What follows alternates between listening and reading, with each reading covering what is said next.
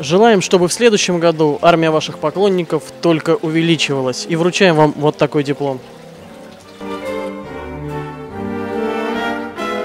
Первую очередь хочу поздравить э, жителей России с Новым годом, с этим э, знаменательным праздником и пожелать им в следующем Новом году э, счастья, здоровья и удачи во всех начинаниях. И пусть все мечты которые, и планы, которые они задумали, исполнятся и превратятся в сказку.